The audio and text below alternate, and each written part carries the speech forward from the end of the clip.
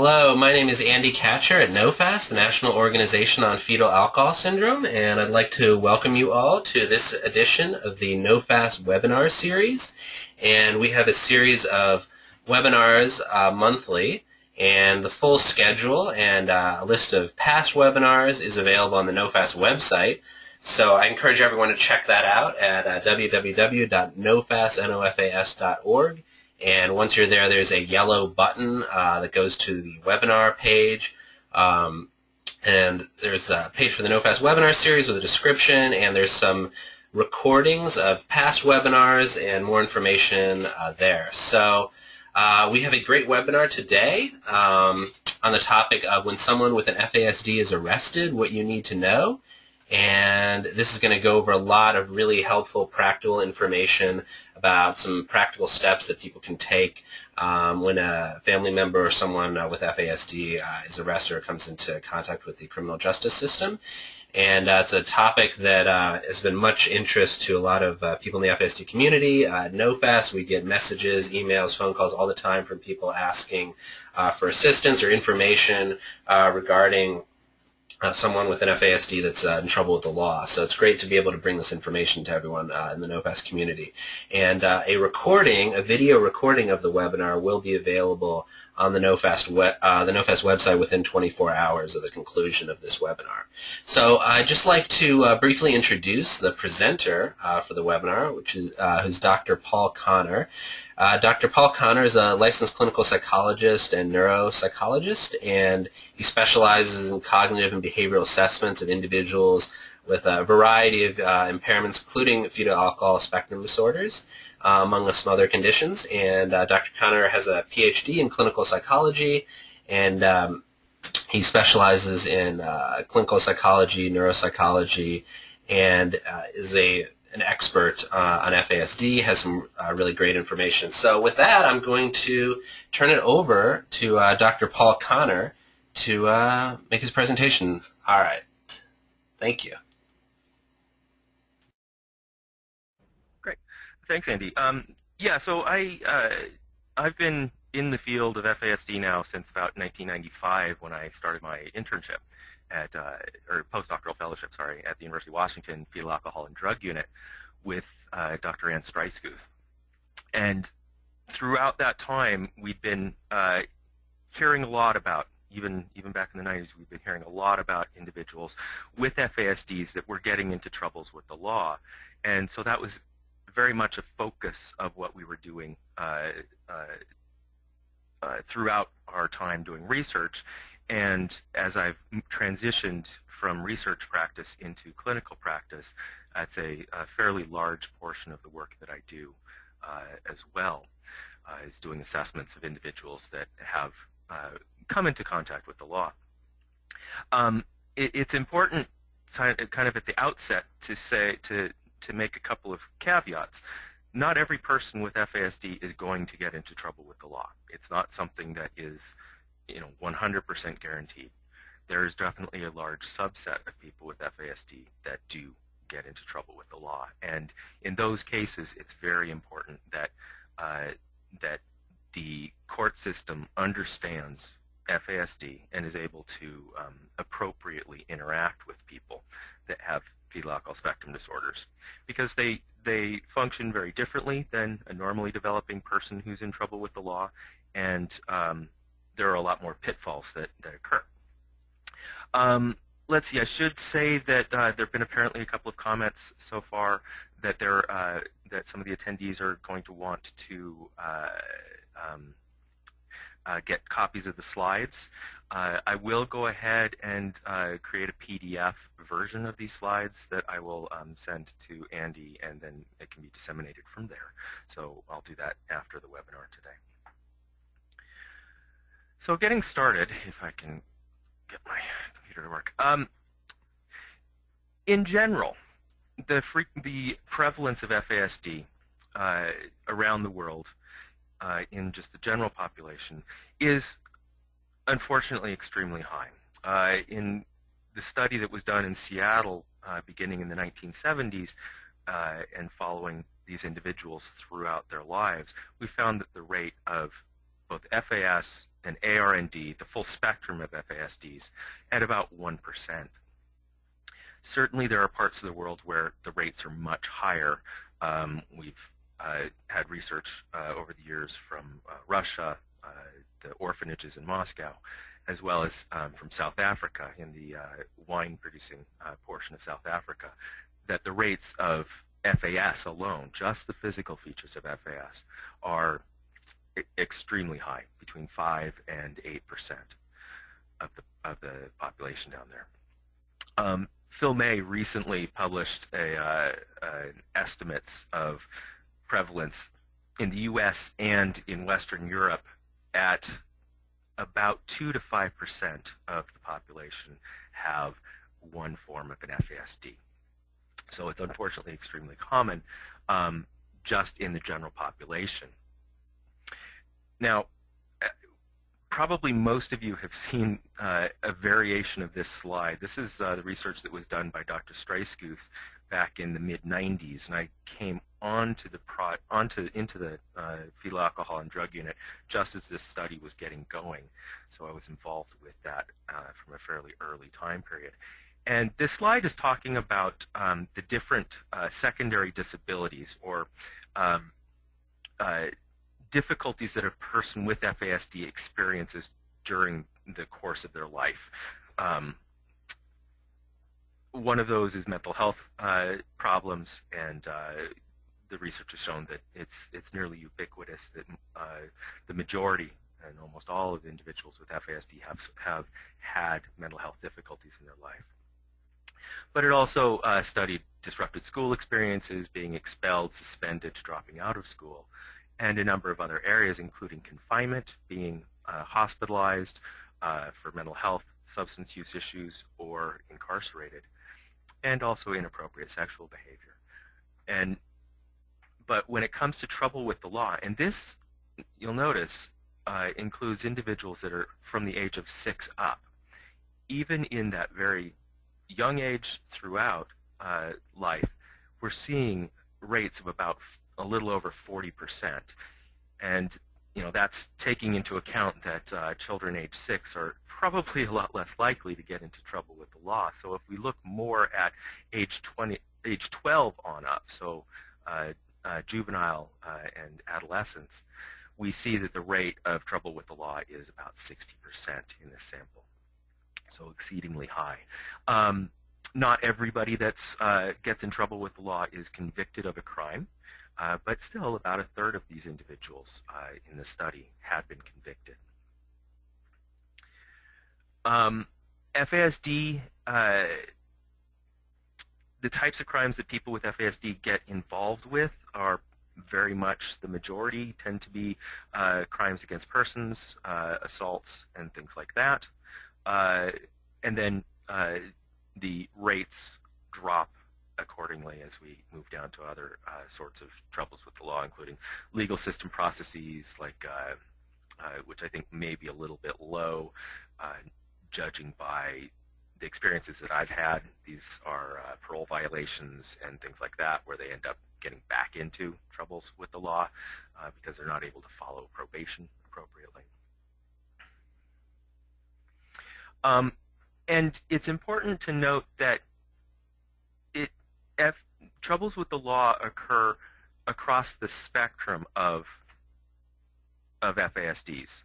So this slide is talking about the individuals with FAS, those with the facial features of FAS, um, and those with, back in the 90s when we were calling them FAE, so these would be individuals with partial fetal alcohol syndrome or ARND. And it does not matter the diagnosis. They tend to have very high rates of, um, of troubles with the law. It becomes even greater, though, in those individuals with the FAE or where they don't have all of the physical features. So they're not being picked up and uh, noticed as having a disability uh, as readily. And so they are uh, more prone to having the troubles with the law kind of continue. They may still be getting into the same amount of troubles. Individuals with FAS may still be getting into the same uh, type of troubles, but um, possibly the individuals with FAS who have the physical features uh, people are recognizing that and so are less likely to pursue those charges so they're not actually uh, coming to full uh, uh, uh, adjudication. In fact, in the work that I've been doing over the last seven or eight years in forensics and doing assessments of individuals in the that have been charged with crimes, um, we have only seen a couple that were ultimately formally diagnosed with FAS. The majority were diagnosed with either a partial FAS or an ARND. So um, a lot of times people with FAS, uh, full FAS, are getting noticed earlier in the system, which is a good thing. The problem is those with ARND or partial FAS aren't being picked up and they still have the same cognitive impairments, but uh, are kind of falling through the cracks, unfortunately.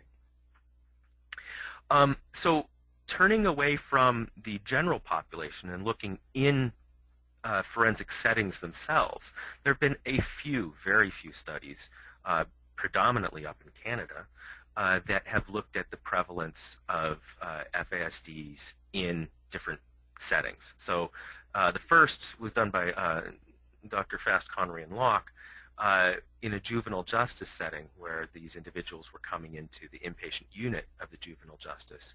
And they were diagnosing rates of about 23% of those individuals coming into that program were diagnosable with an FASD. Uh, in the probation program uh, up there, uh, this was across Canada, a study that was done, um, I believe, uh, and they found that about 4.5% of uh, the people in the probation program had been diagnosed, formally diagnosed, but an additional 26% that they hadn't been diagnosed, but it was certainly uh, strongly suspected. Um, and finally, the first study that, that I've seen in the adult population in adult prisons, uh, this is a, a prison uh, outside of uh, Winnipeg, I believe, they found that the rate of FASDs was 10 times higher than it was in the uh, general population. So the rates in prison settings are extremely high. Why is FASD so relevant to, in court? The whole concept of, of fetal alcohol spectrum disorders is that when the mother drinks alcohol during pregnancy, that alcohol damages the development of the brain. And that damage to the brain can impact certain uh, cognitive skills such as executive functions. Executive functioning is a person's ability to uh, plan for things, their ability to um, delay reward. So if they really want something, they can um, postpone getting it until they've been able to complete other things. Uh, it's their ability to control impulses, which goes along with the, the delaying gratification, and making good decisions. And as we all know, individuals with FASD often have great difficulties with, with uh, all of these areas. Uh, one uh, person that I uh, remember from the past had uh, gone to a party and she saw this, this lovely necklace at this friend's house or friend's apartment and she decided that she would take it. So she obviously was showing poor judgment in stealing that. Um, but then a couple of weeks later, she got invited back to the same party, and uh, she decided, you know, she really wanted to look really nice, so she wore that same necklace. And unfortunately, uh, she uh, was caught because of, of that second level of poor judgment. So sometimes it's not just the criminal act that is the problem, it's also the difficulty in being able to understand the consequences of those that come down the road. So that impairment can impact all of the aspects of um, legal involvement uh, for people with FASD. One of the big things that we've been concerned about uh, over the years is the issue of suggestibility. There have been a number of fairly uh, widely publicized cases of um, false confessions. Uh, there was one individual who uh, uh, confessed to an arson and ended up in prison because of it. Uh, only several years later to uh, it came to light that he wasn't even in the state at the time that the arson occurred. So individuals with FASD can be quite highly suggestible. And that's just in the general settings, they tend to be suggestible. When you put them into settings where they are put under pressure by people, by people in authority, uh, such as police officers, they may have an even greater risk of um, basically uh, agreeing to what the police officers uh, say. And so they may tend to over uh, endorse, even uh, they may tend to um, admit to things that they did not do or admit to greater involvement in things than they actually were involved in. So maybe they were, let's say, driving the car uh, when his buddies went in and robbed the liquor store, um, but he, uh, through the interrogation, admitted that he was in there holding a gun and uh, things like that. So he over-endorses. And we know that this has been an, an, issue with individuals with FASD. There have been a few studies of, uh, of FASD individuals with a particular scale called the Gudjonsson Suggestibility Scale, which I use very routinely in FASD cases because it is a test that looks at what we call interrogative suggestibility. So a person's um, uh, tendency to um, uh, be be led by questioning. So this test is a, it's a very interesting one. You, you read a story to the person, and then part of it is asking them to to tell the story back to you. So you check check their memory, but then you ask a number of questions about the story, and some of those questions are actually leading questions. They're not they're not real. And what you're trying to do is you want to see if a person uh, tends to be uh, swayed by those leading questions. Um, and uh, so that's that happens on the first go around, and then you you confront them and say, you know, you made a lot of mistakes here, and we really need to get this right. So we need to go through it again. Standard practice in, a, in an interrogation is going over the story again and again, and we re-ask those same questions. And so what we're trying to see is, do they change their uh, answers based off of this extra pressure? So this uh, the uh, column on the right are a number of just control subjects, uh, normally developing individuals. The middle column was a study that was done um, back in the early 2000s, I believe. Uh, small study of just uh, individuals with FASD. These people were not involved with the law in any way. And then the far left study was one that uh, my group, FASD experts, had done as part of our uh, our work with in forensic settings a small number of individuals. And what you see is that as far as memory goes, individuals with FASD have much poorer recall of the story, which is not unexpected. Uh, this is a very difficult story, and they need to organize information well, and organizing things is not something that uh, is something that, that, people with FASD uh, can have uh, difficulties with. Um, Oh yeah, sorry. Uh, the suggestibility scale is the Gudjonsson, and it's G-U-D-J-O-N-S-S-O-N. It's a very difficult name, and I may have misspelled it again. Uh, the the author of the study uh, or the, the, the test is actually a Finnish uh, person uh, who used to be a police officer and then uh, went on to become a psychologist, and so developed this this this test because he noticed that a number of people with uh, cognitive challenges tended to have great difficulties in these these sorts of settings. Um, so getting back here, um, yield one is when you first ask these leading questions, embedded leading questions, not all of them are, and you look to see how many they endorse. And individuals with FASD endorse about twice as many items as the control subject does. Um, and then when you go back through the, the uh, questions the second time, we're looking to see how often they change their story. So individuals that are just normally developing, they may change their, their uh, responses on average four out of the 20 questions. So four of the 20 questions they change on. But individuals with FASDs, regardless of whether they're a non-clinic or non-forensic or a forensic sample, change their answers considerably more. Again, almost twice as often, uh, more than twice as often. So their overall suggestibility is significantly higher than individuals that are not exposed to alcohol prenatally. So um, one of the most important aspects of uh, when a person does come into contact with the law, uh, a person with FASD, is that they invoke their rights uh, to having an attorney or an advocate present so that they are less likely to end up in a situation where they're in an interrogation on their own and like and uh, prone to uh, uh, giving stories that or saying stories that are not necessarily accurate. So that's one of the, the big issues that we get to.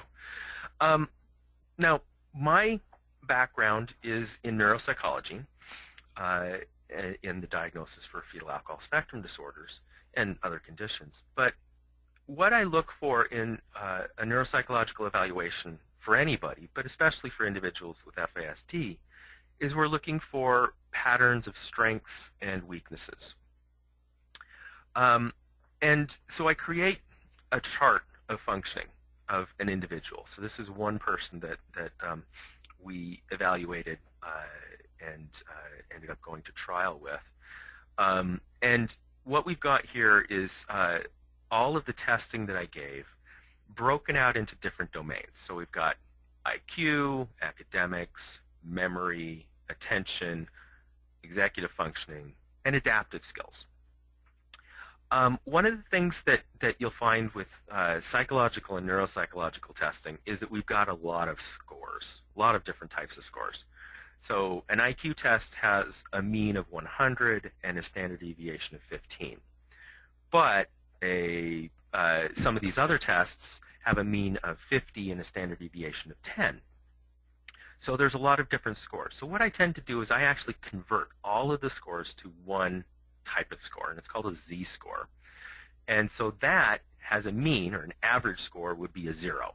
So if a person has an IQ of 100, that would convert to an, a score of 0 on this scale. And it has a range of about one standard deviation, or one point in either direction. So I put that, I do that for everybody, all of the tests, and then I can compare across tests to look to see how a person is doing overall and in relation to other tests. What we often look for in individuals with FASD is we look for a, a, a couple of different patterns. One is that we're looking for deficits in multiple areas of functioning. Usually at least three different areas of functioning need to be uh, demonstrating impairment. And in this case, we're seeing deficits in academics, memory, uh, certainly executive functions, and in all aspects of adaptive uh, functioning. Another thing that we're looking for is we're looking for kind of a, a, a pattern of descending functioning, where IQ tends to be a little bit higher than academic skills, which in turn tend to be higher than a person's adaptive skills. And so what, what we're looking at is kind of a disconnection between what a person knows and what a person is able to actually do or apply uh, independently. So that's what I do in a neuropsychological evaluation, looking for those strengths and weaknesses. But really, that's only one piece of the of the puzzle, because one of the things that we run into uh, in when we're uh, testifying about fetal alcohol spectrum disorders is that the opposing attorneys will say, yeah, okay, fine, he's got these deficits. So what? What's the point? And that's where the other uh, uh, people involved in the diagnosis become much more uh, cr uh, critical. Because what you need to do in an assessment for FASD in the criminal justice system is you need to link up the diagnosis with the person's behavior and with the person's uh, behaviors uh, that uh, got them into trouble with the law. And so we talk about this as being the nexus, the connection point between those things. So prenatal exposure leads to damage to the, uh, to the brain of the fetus. That leads to the cognitive behavioral deficits that I assess. But that also, so it, it leads to these problems in judgment, decision-making, understanding, and applying cause and effect, and also impulse control, and that in, it, in, in turn leads to these instant behaviors. So for the individual that, that saw the, the pretty necklace. She made a bad decision, and because of her cognitive impairment, she made this bad decision and then uh, committed the crime. She saw it, she wanted it, and she got it. Um, so the nexus is basically talking about how the client's FASD impacts their behavior in life. And this is really critical because it talks to issues of um, capacity, their ability uh, to, um, to reason, to understand what's going on around them, and also it talks about mitigation issues. Uh, so uh, there are two, two uh, things that, that the judge or jury takes into account once a person has been convicted of a crime. there are factors that are aggravators, things that make it worse. Um, so if a person carries a gun uh, into a uh, when they do a robbery, that's an aggravating uh, instant. Um, but there can also be mitigate, mitigating uh, impacts. So a person that uh, was uh, under duress at the time that they were that they committed the crime, that could be a mitigator, mitigating factor. Let's say a person shoplifted, but they had no income and they were trying to feed their family, so they, they stole uh, some food. That can be taken into account as a mitigator. And FASD can certainly be used as a mitigating uh, sort of uh, uh, argument. Um, so as we talked about, right up front, people with FASD, we assume will have these impulsive, illogical types of behaviors that often don't make sense.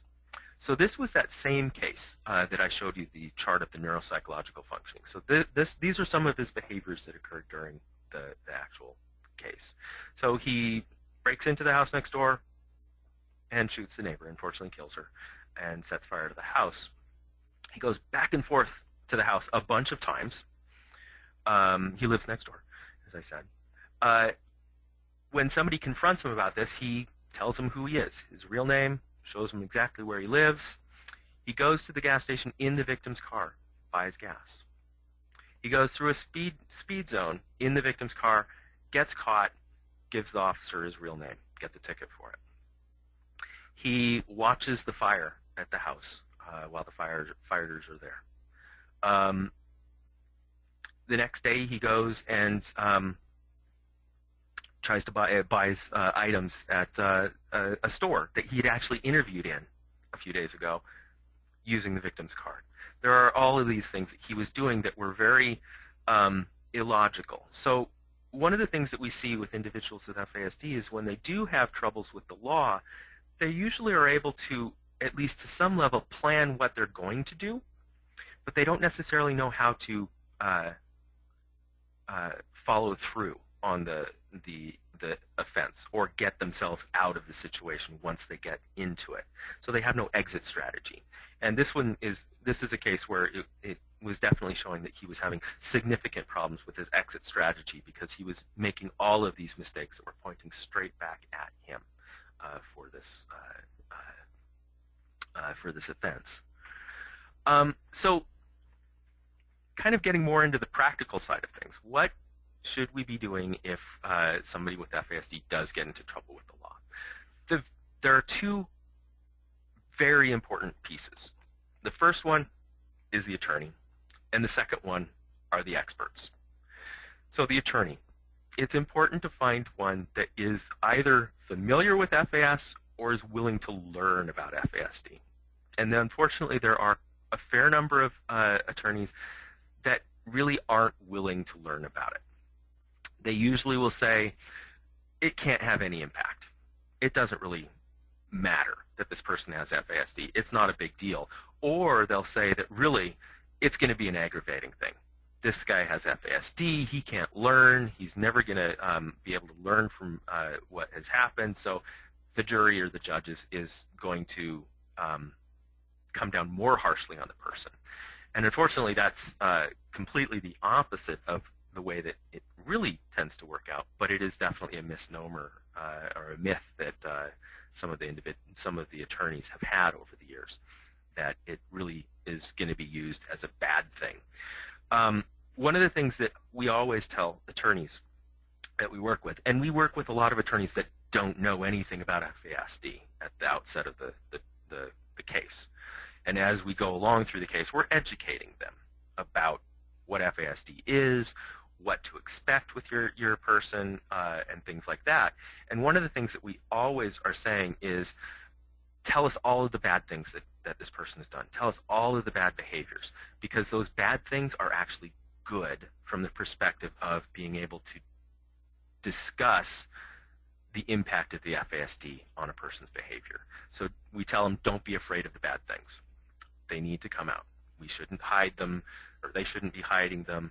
They need to come out so that they can then link all of that back to the FASD uh, to help to build a picture and to discuss the person's functioning uh, across the board.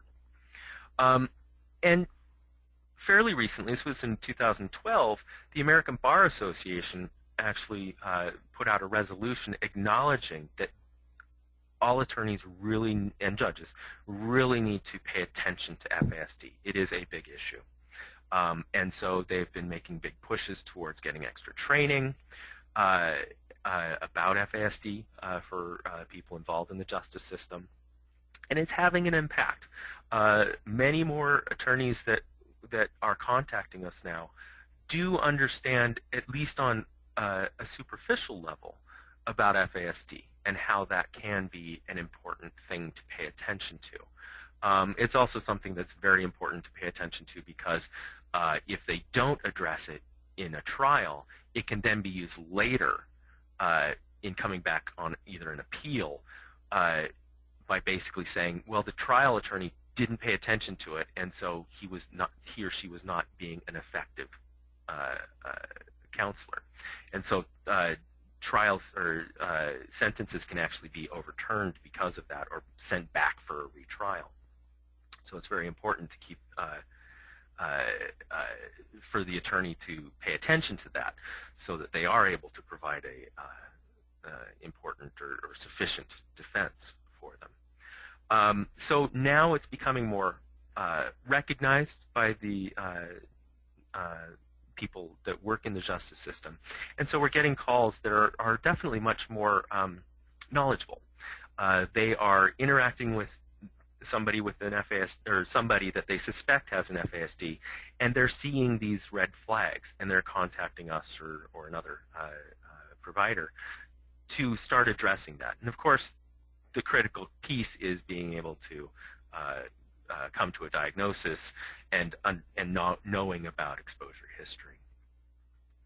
Um, so the issues that uh, FASD can uh, be related to uh, as part of the, the criminal justice or the justice process, it can be uh, it can occur before the trial ever occurs, before it ever happens. So issues of competency to stand trial in the first place. Uh, people with FASDs oftentimes uh, have a great difficulties um, understanding the charges. They have a lot of difficulties being able to remember all of the people that are involved in the case, which is an important feature. And even more importantly, they often have a lot of difficulties being able to help their attorney.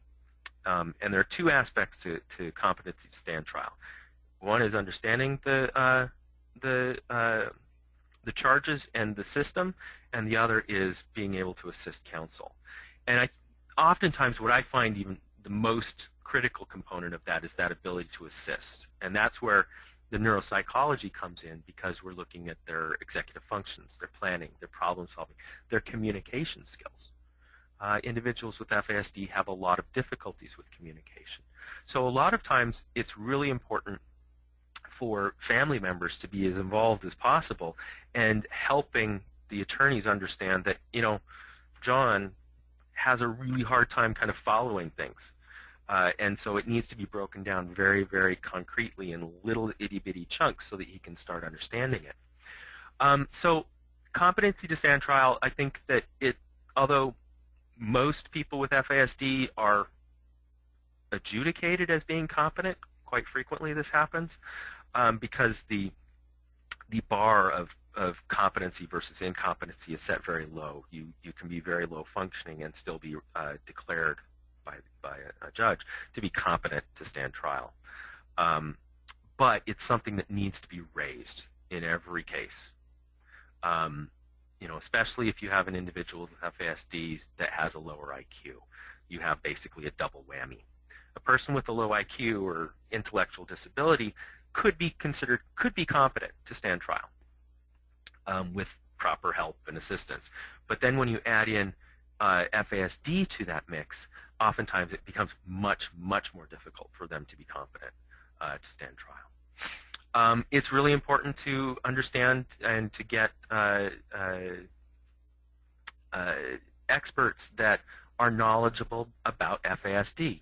A lot of neuropsychologists uh, that I interact with really have fairly little knowledge about FASD.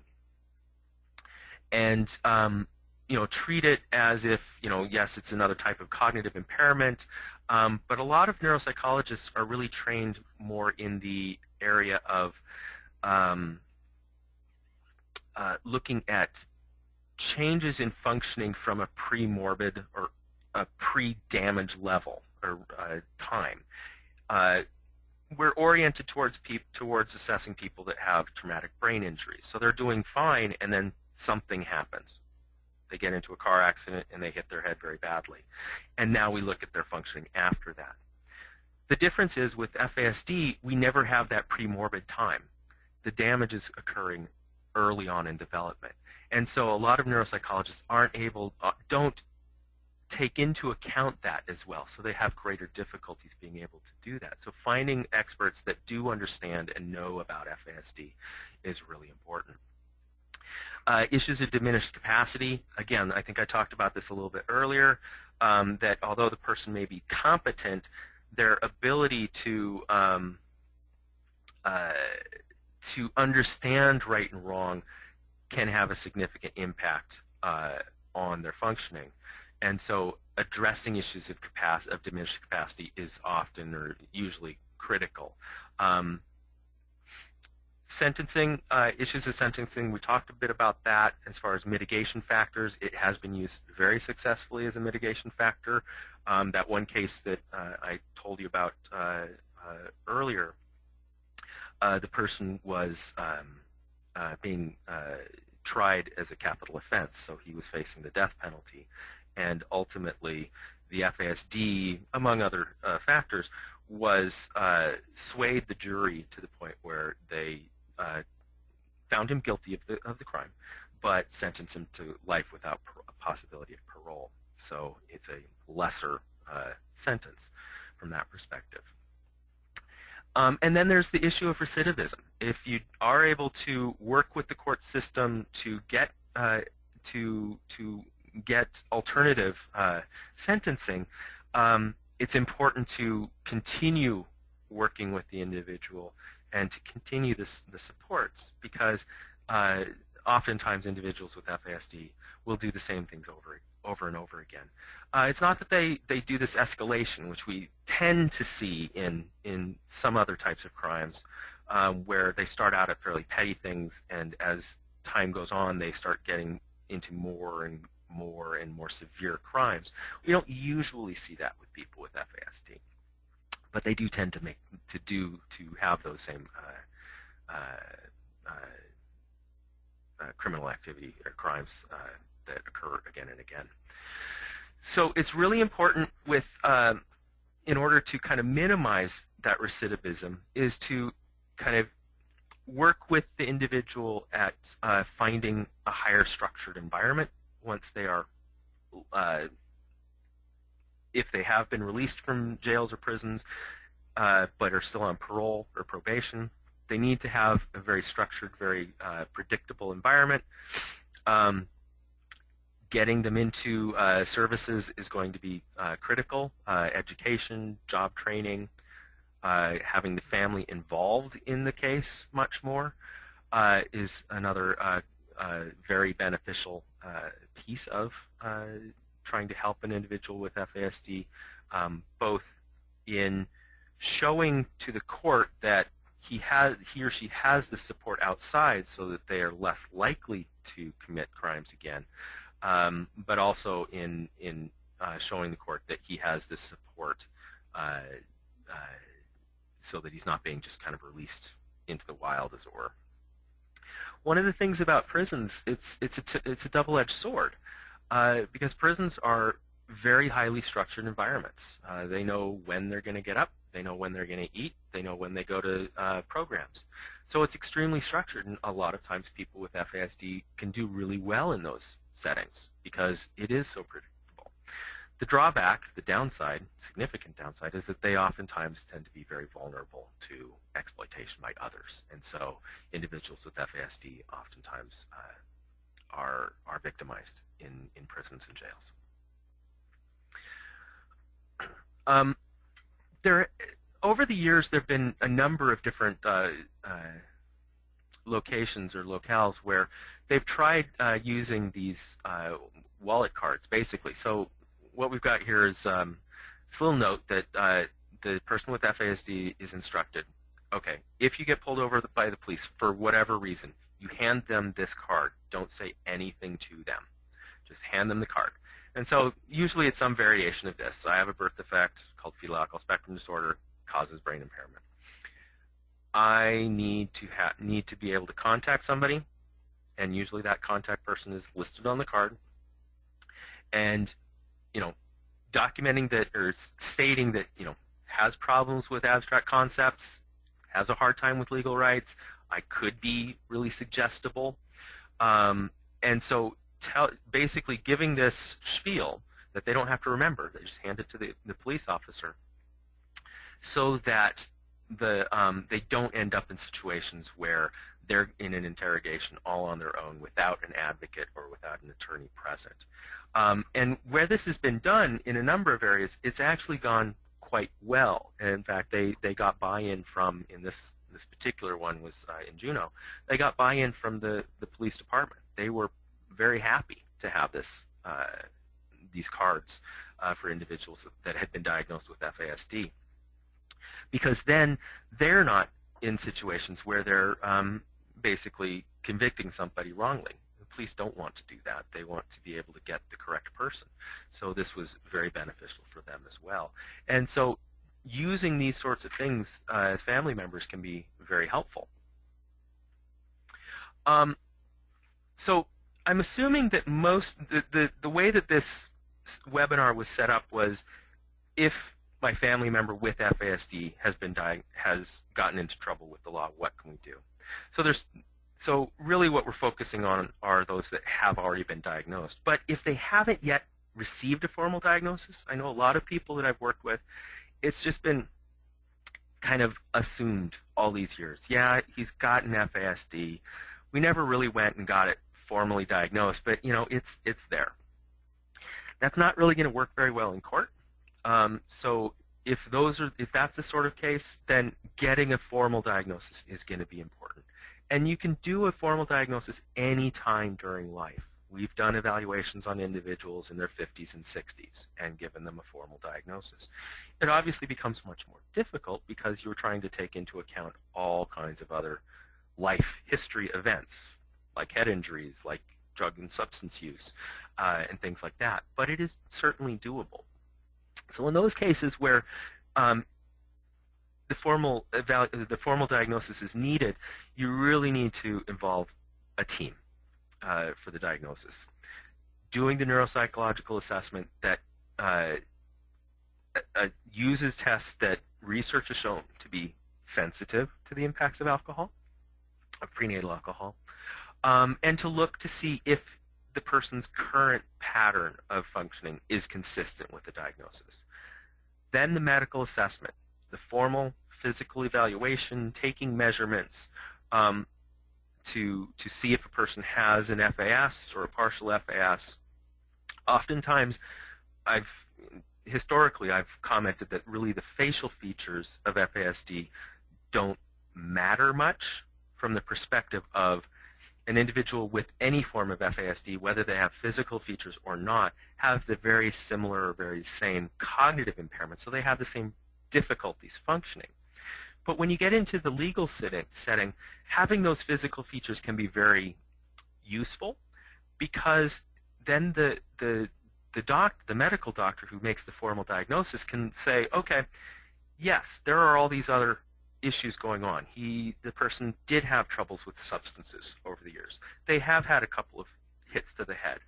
But this person has some physical features that are consistent with FAS. They have smaller eyes. They have a smooth, uh, a smooth philtrum. And that's not caused by any of those other things. It can be caused by the alcohol. So they can then make that differential diagnosis, which then helps very much, um, pardon me, for the, uh, the uh, in the court setting. Having said that, individuals with ARND without any physical features, we've been uh, we've been involved in a number of cases that way, and have still been able to make the formal diagnosis, and it has been beneficial that way. And then finally, as I as I kind of have alluded to along the way, having this historical psycholo- psychosocial assessment to look at that nexus is absolutely critical, so that they so that basically the attorney can say, so what? This is why it's important. If a diagnosis has already been made in the past, critical thing is get all of the records about that diagnosis. Have everything there so that you know exactly who did it, when they did it, what the specific diagnosis was, um, because again, that's important to document uh, that that it was formally made. And in fact, in some ways, it can be even more beneficial because it's this diagnosis was made before, maybe before Johnny ever got into trouble with the law. So it's not, you might say, open quotes, tainted by a biased expert. This is something that's been there all along. Um, the neuropsycho neuropsychological evaluation may be important or may not be important. To some extent, it depends on how recently any testing had been done. Um, if nothing had been done for a long time, it might be useful to have that neuropsych, but still, finding the psychologist to do that assessment for that nexus, the connection between the FASD and the behavior is the critical piece. That, that really needs to be there, regardless of whether there's any uh, new neuropsychological or cognitive testing that's done. So kind of one of the important messages to take home is that having an FASD does not excuse a person's behavior. It does not mean that they should uh, not be punished for it. But it, what it does is it explains their behavior in the context of the damage that's occurred to them that's outside of their own control. This happened before they were born. And thus it um, allows or, or um, requires us to argue for alternatives to uh, uh, more stringent or stiffer uh, sentencing or punishments. So, as I've said all along, FASD should be considered as a mitigating factor in these cases. And alternatives could include, I don't know in the areas where you all are, if they have mental health courts or drug courts. Um, but Washington certainly has both of those. And those are types of uh, court programs, they're diversion programs, where the person is involved in uh, treatment during the course of uh, their court involvement. So they're not necessarily, uh, they're not uh, imprisoned during this time, but they're in the community getting services that, that they need. And so being able to try, trying to get a person diverted into those drug or mental health courts can be very beneficial for them. Because those courts are set up less in a punitive way and more in a collaborative way. You go in every week, you talk to the judge, you say what sorts of things have been going on, the judge listens to that. If a person does, you know, is doing, uh, uh, is breaking their parole or probation, then yes, they, they get punished for that, but uh, the rest of the time they're trying to work with them to try and help them achieve their goals so that they can then get off of the services later. So having those court-ordered uh, mental health or substance treatment programs can be very important. Uh, sometimes it's very difficult for a person to find those services on their own, and so having it court-ordered can sometimes help kind of kickstart the system to get them into it placement in other settings other than jails or prisons,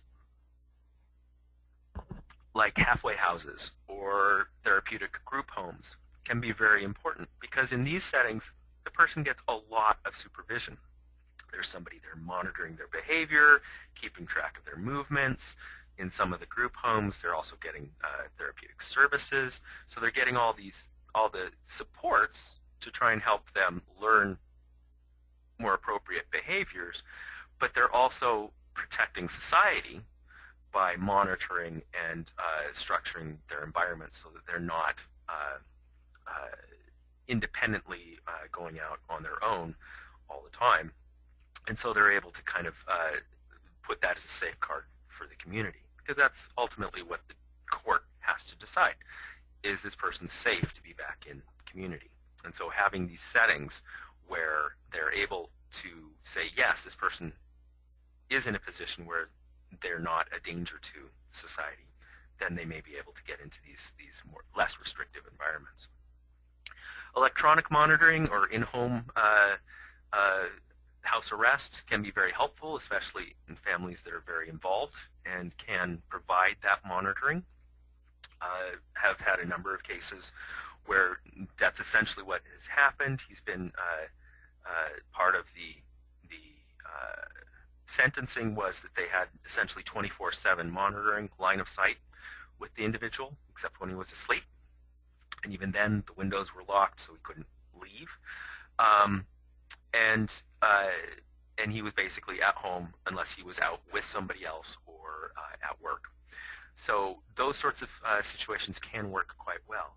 Um, also, uh, developmental disability administration. So getting a person involved in DDA, or that's, that's what we call it here in, in Washington State, but the Division of Developmental Disabilities, can also help the court to understand that yes, this person is going to be getting services, they're going to be supported, and they're going to be monitored because DDA can provide some of these sorts of group home settings and, and uh, uh, therapeutic interventions that uh, may be necessary. So getting a person uh, approved for DDA uh, while they're in the process of the of the court proceedings can really help the judge in uh, or the jury in making decisions as to whether they can use a, a, lesser restrictive environment for the person.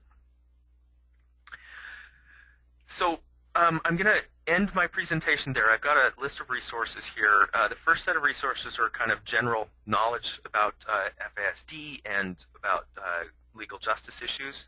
The second set are uh, getting the forensic diagnosis uh, if need be. Um, the group that I work with, FASD experts, but there are other people around the country that do evaluations for FASD in uh, uh, criminal uh, situations or forensic situations. Dr. Chasnoff over in Chicago has been doing this for many, many years.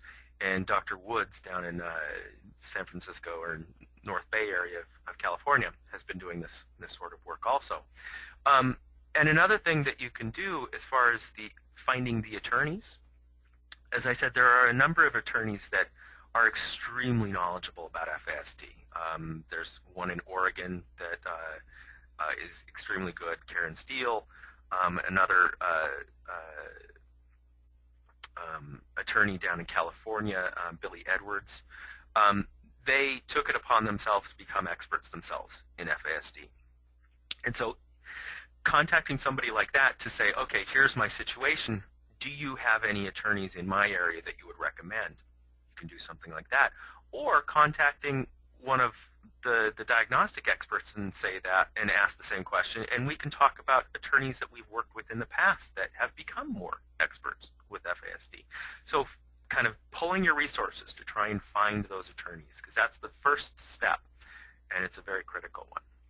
So at this point I will open it up to questions um, and I believe that Andy's going to uh, read them off for me or something.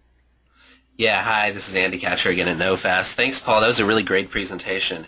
And again, uh, just to remind everyone, the video recording of the presentation of this webinar will be made available on the NOFAS website uh, within 24 hours. Also, some people were asking about slides, and as Paul said, uh, there will be uh, some of the slides will be made available on the NOFAS website as well. Uh, so yeah, there was actually a lot of questions, so I'm just going to get right to it, uh, just to ask those of Paul. And uh, some of the longer questions or some of the more involved questions, we might not, might not have time to get to all of them. Um, so I'm going to uh, email um, Paul with uh, those questions, and, and he uh, you know can respond directly to some of those people at a later time. So let's see. One of the questions was asking about the suggestibility scale. Uh, does the scale have good psychometric qualities? Um, yes, it it was. Uh, it's a it's a test that's that's well used. It's well respected. It uh, meets those sorts of criteria for admissibility into court. Um, I've never been challenged on it when I have testified to it. So that's from the one perspective of admissibility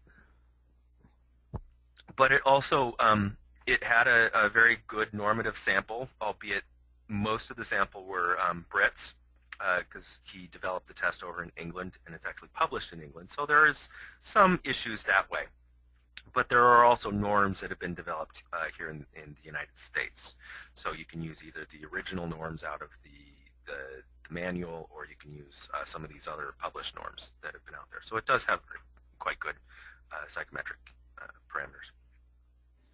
All right, great. Thank you. Another person asked, is FASD considered a disability according to ADA standards?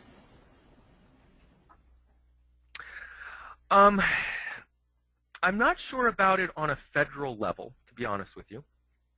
Um, with the de developmental disabilities programs, those are usually uh, run on a state-by-state -state basis. And most of the states that I have worked with do consider FASD to be a developmental disability. Pardon me. Um, however, they often are requiring more than just having the diagnosis. You need to have the diagnosis and be able to document significant uh, impairments in intellectual and adaptive functioning. So not everybody with FASD would qualify, but having an FASD would put you in the in the in the on the list of, of being able to essentially potentially qualify. All right, great, thanks. And uh, there were some people asking about, you were talking about attorneys and the importance of getting an attorney that is knowledgeable about FASD or that's willing to learn about FASD. And is there a list of those attorneys, or if you live in a small town, for example, uh, how do you go about finding an attorney that can help you or that is knowledgeable? Yeah, Oh, that's, I mean, those are great questions. I don't know that there is a specific list, but um, what I'll do is when I uh, email out the, the um, slides, I'll add in a couple of other people that uh, could be contacted uh, about finding an attorney in your area. Um, one of the people is uh, uh, here at the the UW Fetal Alcohol Drug Unit Legal Issues Resources, um, Kay Kelly has been working with uh, legal issues kind of as a facilitator for many years now. And she knows a lot of people that are attorneys uh, in different parts of the country that, that may work with that. So contacting her and saying, hey, I live in Oklahoma. Do you know any, any attorneys there? Uh, she may be able to provide that information to you it also may be that in some of these rural areas you just aren't going to be able to uh, find somebody that knows about FASD, and that's okay. A lot of the people that I've worked with in my in the forensic forensic cases that I've done, they didn't know about FASD beforehand, and they would ask questions that I would kind of go, oh gosh, that's kind of a odd question to ask about it. But throughout the course of the case, we were educating them as much as we were making a diagnosis for the individual if it was appropriate. And so by the end of the process, they were much more knowledgeable about FASDs. Um, so having an attorney, even if they don't know about FASD, that is willing to ask the questions of somebody that does, that's a big key. Um, so they can then reach out to some of these other attorneys around the country that have done these cases before and talk to them about this, the, this the, the, the pitfalls and the, the good things that they can do uh, in, uh, in their process of the, of the case. All right, great, thanks. And I'll also add, uh, NOFAS has a list of resources uh, on our resource directory that has a, a map, a state-by-state resource directory, uh, many of which include diagnostic resources. And also you can contact NOFAS uh, through the website as well if you'd like more information. Uh, and somebody asked, uh, how about determining diagnosis um, if the maternal consumption of alcohol during pregnancy is unknown? That is the the grail um, we have, there's only the one case, the one type of case where a diagnosis could be made. And that's if a person has all of the physical features of FASD in addition to the neuropsychological cognitive impairments. Um, and that's the only time that we can make the diagnosis. Sorry. Um, so in those cases, you know, you may end up not being able to uh, make a diagnosis. But the experts can then say, well, on a more likely than not basis, if we knew about the exposure, this person's behavior would be very consistent with it. We can't make the diagnosis, but, you know, it's sort of quacking like a duck. Uh, and if it's quacking like a duck, it very well might be a duck. Uh, so you may not be able to make the formal diagnosis, but you can raise that awareness to the judge and the jury that it is very highly suspected and that maybe we will be able to find out information at some point, maybe not. Uh, in some cases, we never are able to.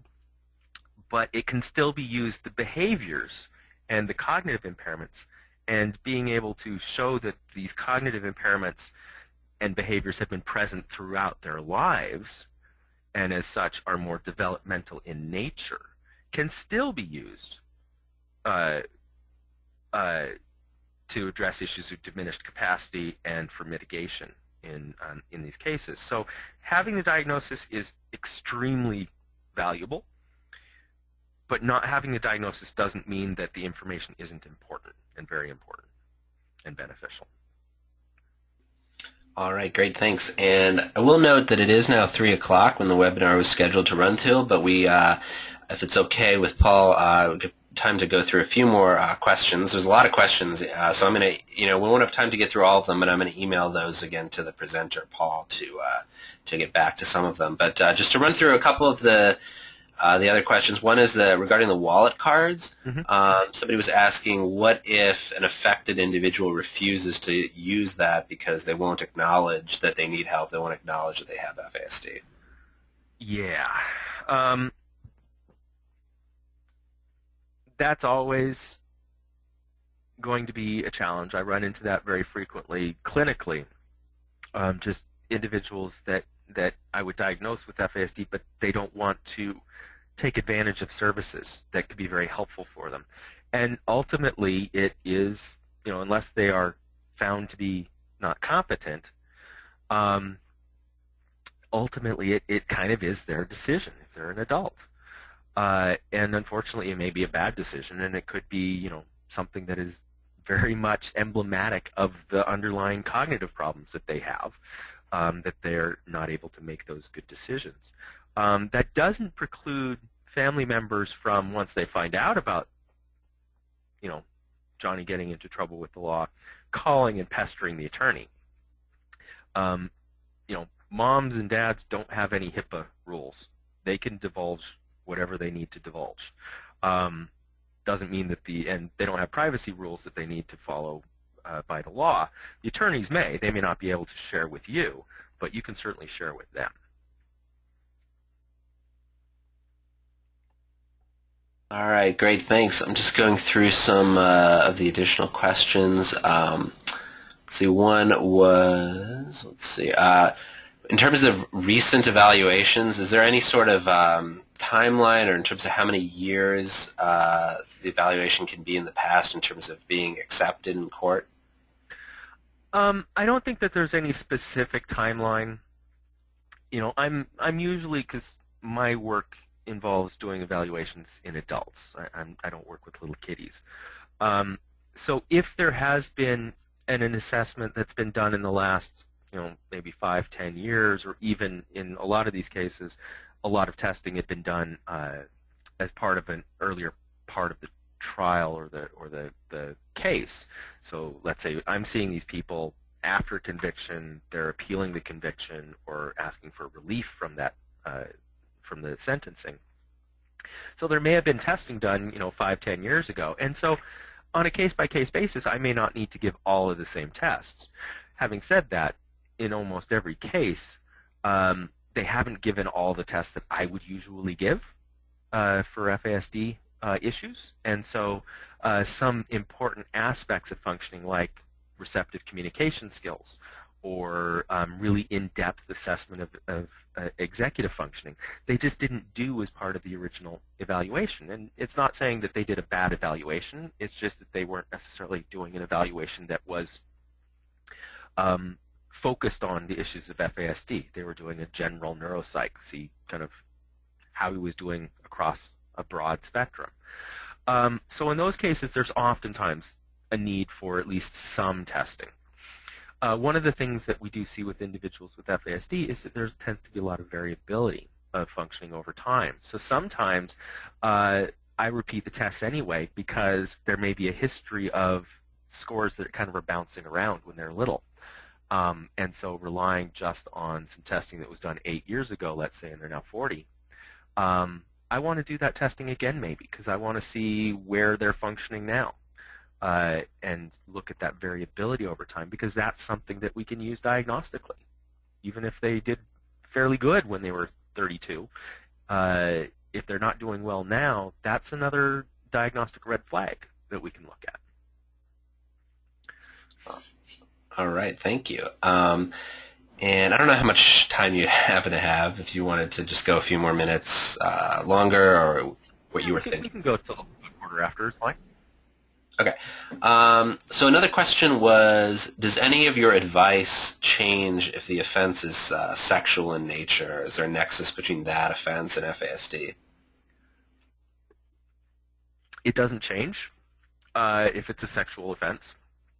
Uh, in fact, one of the members of the team that I work with, Dr. Uh, Natalie Novick-Brown, that's her other area of specialization is in um, uh, in sexual offenses and sexually violent predators. And so, and it's something that we do run into fairly frequently, are, are sex offenses. Uh, so no, it doesn't change any of those any of those things. It's still uh, bad impulsive behaviors. Unfortunately, it's it's another crime against persons that can be uh, you know damaging, very damaging to the victim. Um, but it doesn't change the approach. Thanks. And somebody was asking as far as trainings, um, can trainers in FASD uh, be effective in doing trainings for police, Justice Department attorneys? Any suggestions in, in that area?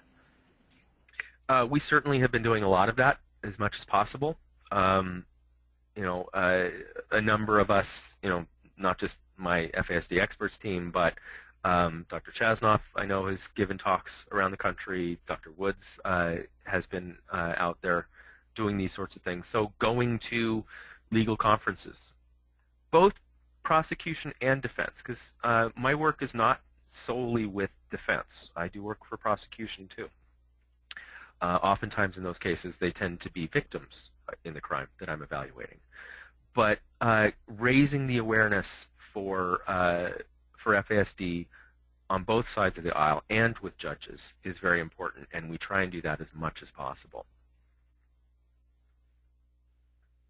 All right, thank you. And um, are there any sort of documents uh, available to supply to mental health courts uh, for inclusion of FASD or NDPAE or another uh, FASD-related diagnosis into mental health courts, um, some of which uh, this person is saying is, is, currently denying FASD clients? Ooh, um, interesting.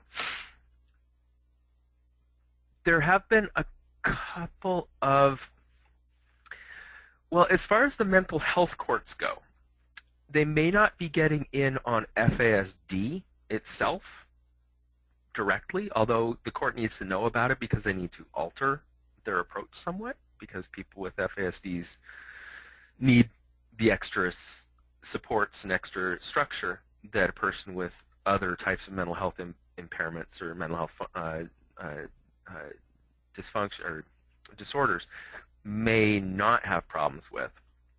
But um, you know, the, the research shows that 95% of people with FASD also have a diagnosable mental health condition. Um, and so looking to get them into the program based off of the mental health uh, diagnoses can be very important. And now with the NDPAE being in the DSM-5, there may be, and it's only fairly recently, in the last year or two, that that's been there, um, there may be a move towards accepting people into uh, mental health courts uh, that have been diagnosed with the NDPAE, but that's still in its infancy because a lot of uh, uh government agencies haven't started using DSM-5 yet. They're still using DSM-4. Uh, so that may be a transition that will be coming down the road within the next couple of years. But getting them the services through the other conditions. A lot of people with FASD have severe or significant uh, depression or uh, bipolar-like symptoms or uh, psychotic-type symptoms. Uh, I think in, in one study that, that we did, or that was done at, at the unit, uh, we found about 40% of people with FASDs had some form of diagnosable psychotic condition. So getting them into the programs based off of those sides of things, and then educating the, the, the court about the FASD in addition to that. Great, thank you.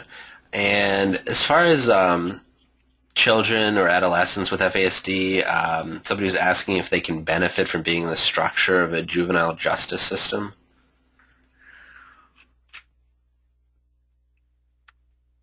Um,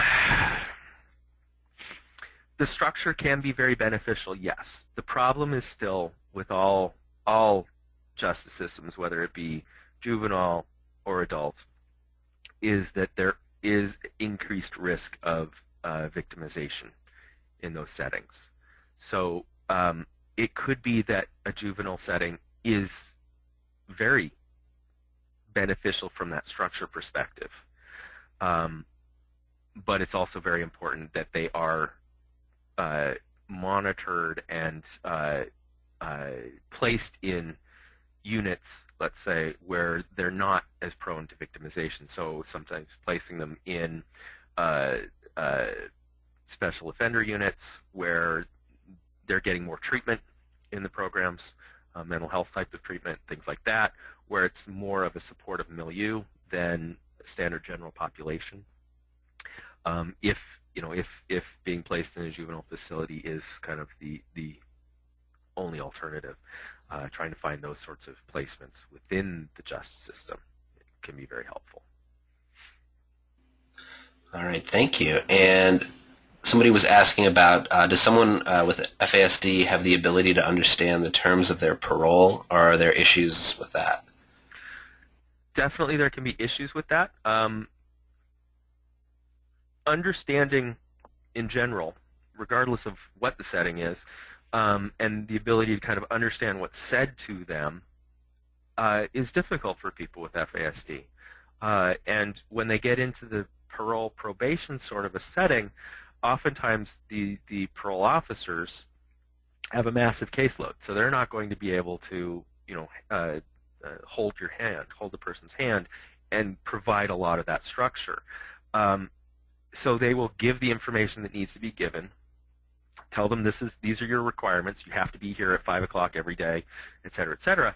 But if there's no follow-up to that, it's going to be very difficult, oftentimes, for people with FASD to follow those requirements. And unfortunately, then they get uh, uh, um, uh, sent back to jails or prisons because they've violated their parole for usually very mild things or minimal things, but it's technically breaking the rules. So trying to work with the parole officers, the community uh, service officers, to understand FASD. And we have done uh, trainings for parole probation so that if they know that there's a person coming through with an FASD, then they know that they need to spend a little extra time or recruit more assistance from the community in order to help them. So it could be family members, it could be friends, uh, it could be uh, uh, other people that this person uh, interacts with that serves as that kind of reminder to make sure that they are following the. All right, great, thank you. And there are a few other questions, um, but in the interest of time and uh, and everything, I'm going to send those uh, additional questions, um, some of which are more involved, more uh, people sharing their personal stories, that sort of thing, uh, wanting some specific answers. I'm going to share those directly with uh, our presenter, and um, and he'll get back to you on those. And um, again, a reminder that the recorded webinar will be available. Uh, in addition to the slides, will be available on the NOFAS website. And uh, I'd like to thank Paul very much um, uh, for the webinar presentation, uh, Dr. Paul Connor. And uh, I hope that people found it uh, informative, useful. I think there was a lot of really great information uh, provided. And again, if you go to the NOFAS website, www.nofas.org, there's a list of other webinars, recorded webinars, a lot of information. NOFAS, the NOFAS website actually has a whole web page devoted to these issues, criminal justice system issues, and there's a resource directory of uh, state-by-state -state resources. You can contact NOFAS for more information. And you can uh, follow NOFAS on social media, on our Facebook page, our Twitter account, and so forth. And uh, again, I'd like to uh, to thank uh, Paul very much. Uh, and is there is there anything else that you would like to add in closing? Well, I just really like to thank NOFAS and, and Andy for all the work that you guys have done over all these years working with people with FASD and raising the awareness. Um, because having that macro level where you guys are off in DC talking with people and raising the awareness uh, is really important for getting it down to the grassroots. You know, the American Bar Association really their their resolution uh, was because of all these organizations working together, including NOFAS, to try and get the awareness raised, and that's just critical. And I really appreciate you guys doing that. All right, thank you. Well, we appreciate all your work as well. And uh, thank you, everybody. And um, this concludes uh, this edition of the, the NOFAS webinar series. And uh, you're welcome to uh, get more information at nofas.org and more information from FASD experts as well. All right, thank you very much. All right, take care, guys.